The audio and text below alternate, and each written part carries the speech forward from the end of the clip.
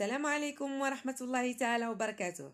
مرحبا بكم معايا في قناة سكينة السويرية اليوم إن شاء الله كيف ما كتشاهدي معايا سيداتي غادي نحضروا تشيز كيك بالكوك والكراميل. يعني كتحضري كاطو ما كتحتاجي فيه لا بيض ولا زيت ولا دقيق ولا فرن. سهل سهل جدا طريقة التحضير. وكيتحضر في وقت وجيز بسرعة في متناول الجميع يعني المكونات ديالو بساط. تبعي معي سيدتي la vidéo إلى الآخر. ويلا نتعرفوا على المكونات والمقادير. ها هما دا. عندي هنايا صابلي ديال الكوك واللي ما توفرش على صابلي ديال الكوك ممكن يدير أي نوع ديال صابلي ويضيف له آه ستة ديال المعلقات ديال الكوك مع أنني عندي ستة المعلقات صغار. مع أنني عندي ستة ديال صابلي الكوك واللي ما توفرش على صابلي ديال الكوك يدير أي نوع ديال صابلي يعني ستة منه وستة المعلقات صغار منين يكون يبغي يطحنهم في الخلاط الكهربائي. هذا هو أنا هذا عندي صابلي الكوك. منين ما يتوفرش عندك سيدتي صابلي الكوك غتاخدي صابلي عادي وتضيفي ليه كل باكية صابلي وحدة صغيرة. كديري لها معلقه صغيره ديال الكوك. باش كتعوضي داك النكهة ديال الكوك. أنا دا غادي نطحن الكمية كلها بعد ما كملتها كيف ما كتشوفي معايا سيداتي. يعني ما طحنتهاش بزاف. يعني بين وبين. وكنحتاج هنا واحد دانيت ديال الكراميل يعني أي نوعية ديال ياغورت يكون غير كراميل.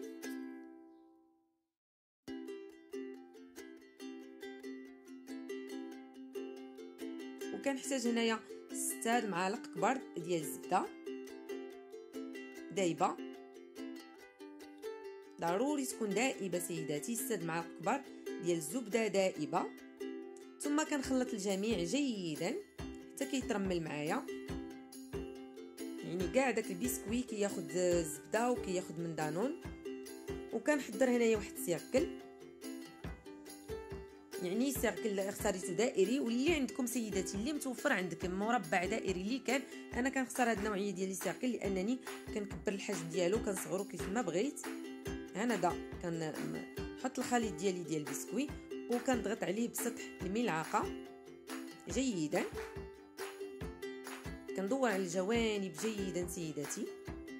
ثم كنستعن بواحد الكأس اللي غيساعدني باش يجي آه عبار واحد ما يجيش جهة طالعة وجهة عامرة وجهة خاوية. يجي عبار واحد. هنا سيداتي. بعد ما كملتها غنوضعها في الثلاجة. ونمشي نحضر الكريمة ديالي. هنا دا الكريمة ديالي غادي نحتاج فيها جوج فلون ديال الكراميل.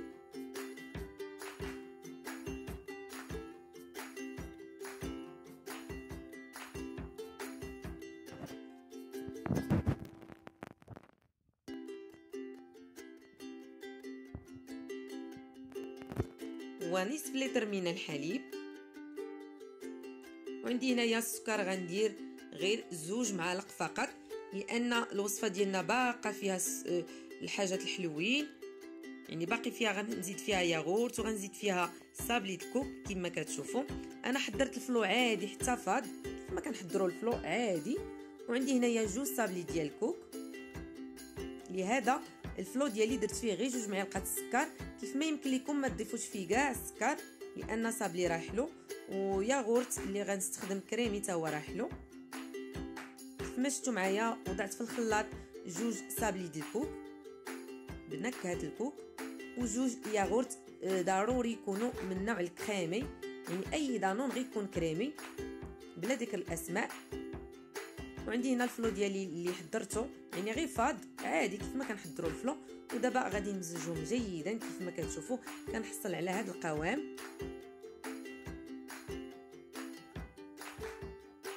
كيجي ماشي عاقد ماشي يعني حيت فيه biscuit و yaourt كريمي. ثم كنجيب البسكوي ديالي اللي خرجته من الثلاجة. كيكون يعني قابض راسو جيدا.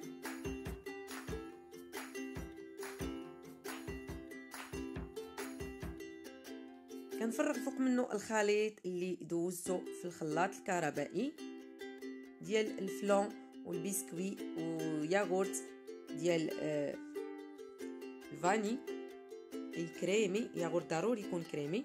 غنخليه هنا فوق سطح العمل حتى يخرج البخار تماما. آه، تبقى شوية دافية عاد نوضعها في الثلاجه ودابا غادي نحضر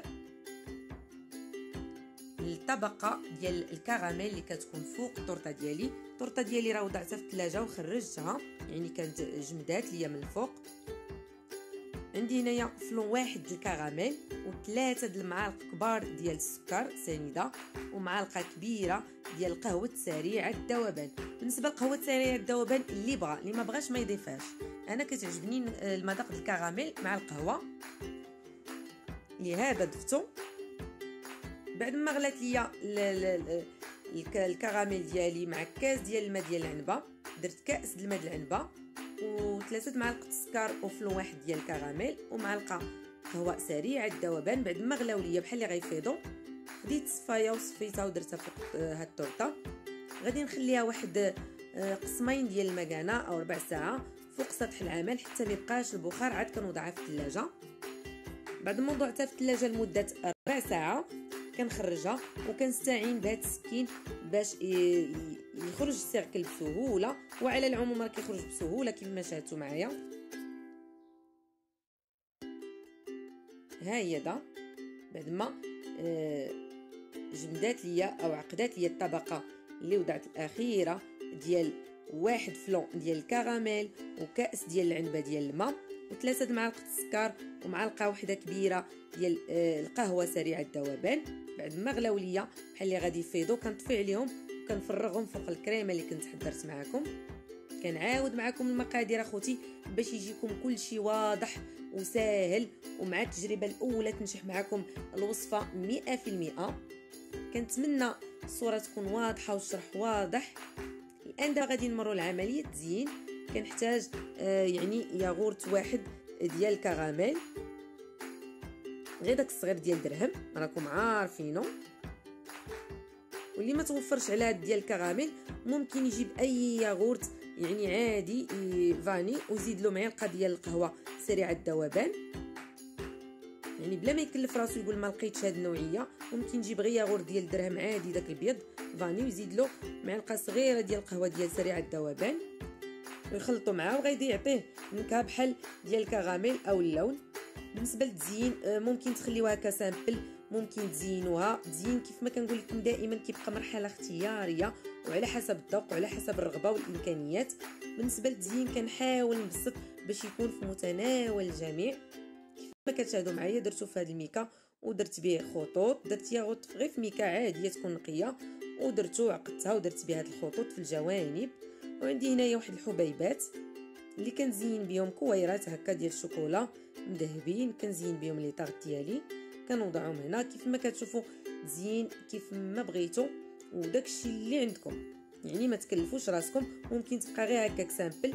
الأساسي من هذه الوصفة هي طريقة التحضير ديال الكريمة ديالي اللي كانت في تشيز كيك ديال الكراميل كتجي رائعة جدا كريمة ولا يعلى عليها. صدقيني سيداتي ملي غتجربي هذه الكريمة اللي وضعنا في تشيز كيك ديال الكراميل وبسكويت الكوك وياغورت كريمي كتجي رائعة رائعة جدا. وتا المنظر بالنسبة للتزيين اختاروا اللي بغيتو. أنا دا غنقطع واحد آه، المورسو قدامكم واحد الطريف باش تشوفوا القوام ديالها كيفاش كيجي.